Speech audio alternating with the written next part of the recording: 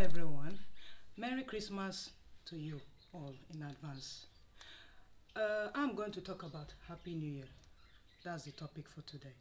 If you're wondering on how you can wish someone a Happy New Year, here are the few Happy New Year wishes words that you can say to your neighbor or someone you like. So I'm going to read it as you can see on the board, just for you to hear. Number one,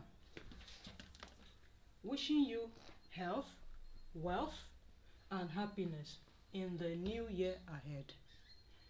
Number two, may 2020, pardon me, not 2020, 2021 be an extraordinary one. Pardon me for using the word 2020. Anyway, 2020 is not over yet. and then three, may you have a prosperous new year. That's all for today. Thanks for watching and listening. May I wish you a happy new year in advance, or I wish you a happy new year in advance, not me.